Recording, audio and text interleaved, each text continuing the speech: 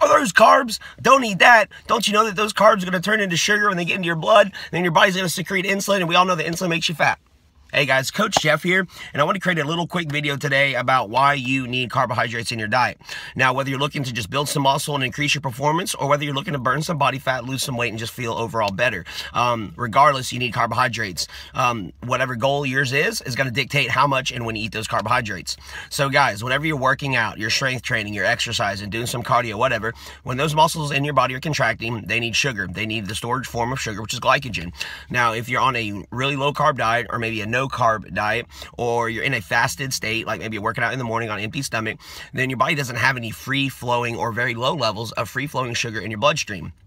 So your body needs to actually um, bring out the sugar from other storage sites in your body. Um, storage sites from your liver, from your fat, and from your muscle cells. Now, that might sound all fine and dandy, but there's a hormone that helps to move the sugar from those sites to the muscles. That's called cortisol. And that's a stress hormone. And if you know anything about cortisol, you know it's no good for uh, building muscle or burning fat or just overall mood.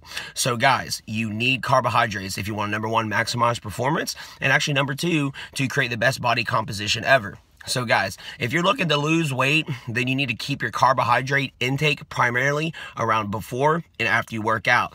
So one to two hours before you work out, you should have a form of a starchy carbohydrate. That could be like some whole grain bread, some brown rice, even a serving of fruit will do. And then afterwards as well. So you're able to restore your muscle tissue and muscle is very metabolically active. So that's going to help you to burn more calories throughout the day and to uh, eventually burn more fat and to build more muscle, guys. Now, if you're already a lean individual, then you need to just keep a very steady state of carbohydrates throughout the day. So you need good starchy carbohydrates for breakfast, lunch, and dinner. Then your snacks can be your fruits and veggies. So hey guys, I hope this video helps out. Coach Jeff, in strength, sign out.